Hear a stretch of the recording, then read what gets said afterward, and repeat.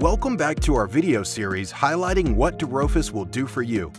In this lesson, you'll learn how to use our Revit plugin to take the guesswork out of modeling by using your program information to drive your design.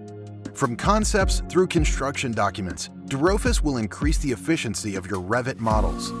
Let's begin by placing rooms in our Revit model. With the dRofus plugin, you have access to your program which will guide you through laying out your building.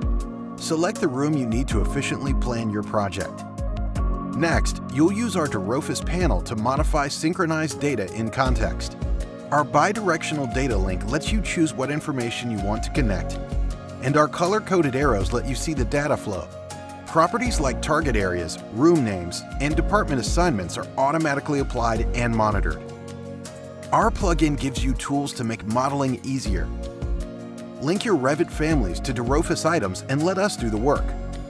From placing individual families to preloading everything in the room. Use dRofus to quality check your models.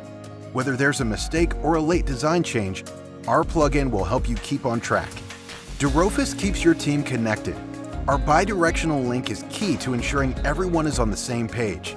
As projects evolve, your team has constant access to synchronized data, Thank you for joining us for this third lesson on collaborating the design of your projects in dRofus.